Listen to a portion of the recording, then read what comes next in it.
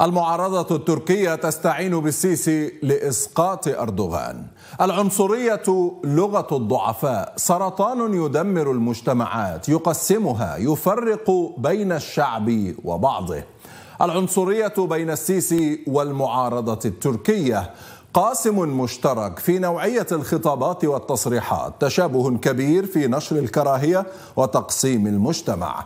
السوريون سيرحلون. هكذا أعلنها كمال كليجدار أغلو مرشح المعارضة التركية الذي قال أنه سيطرد اللاجئين سيعيدهم إلى بلدانهم. سيطهر تركيا ممن سلموا البلاد إلى هؤلاء.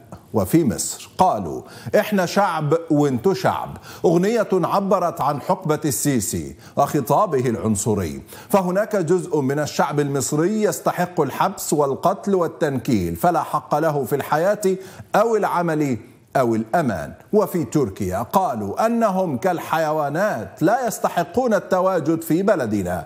عبارة قالها مواطن تركي في إهانة كبيرة وتحريض فج ضد اللاجئين العرب. في مصر رقصوا على جثث القتلى في رابعة والنهضة.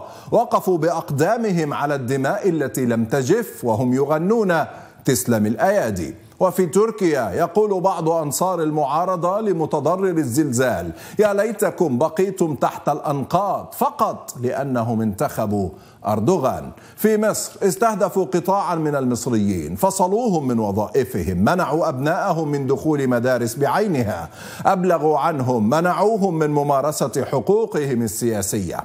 وفي تركيا استهدفوا قطاعا من المقيمين بصقوا عليهم في ملاعب الكرة حاولوا منعهم من التحدث باللغة العربية هددوهم بالطرد من السكن والعمل بل والخروج من تركيا كلها.